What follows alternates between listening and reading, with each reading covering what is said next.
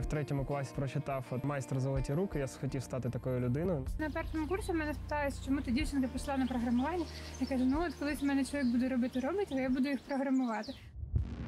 В квітні 2014 року біля Донецька почались бойові дії, і я вирішив поїхати за кордон. Думав, що на пару місяців, але затримався там на два роки. Влаштувався в майстерню. Був запит зробити костюм робота. Сказав, ну давайте я буду розробляти. Я дивилася, казала, знаєш, мені здається, що ти робиш їх найкраще в світі.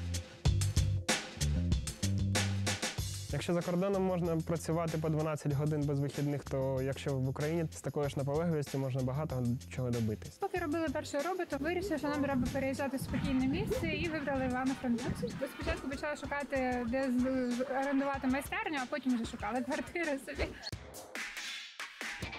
В майстерні працює до 10 чоловік. Спочатку е, деталі костюма за програмами, закресленнями нарізаються на цьому станку. Тут відбувається фарбування костюма, встановлення електроніки в костюм. Е, задача створити от такий максимально реалістичний наруч.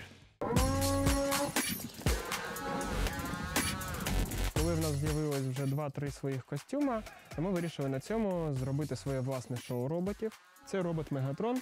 Ми взяли самий складний, який можна відтворити, для того, щоб е, бути першими. Вага костюма від 15 до 20 кг. Треба в цьому балансувати. В високотехнологічних країнах роботи виконують всю важку роботу, машини роблять все.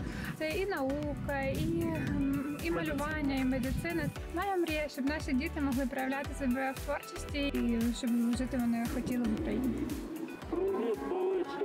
Як тебе звати?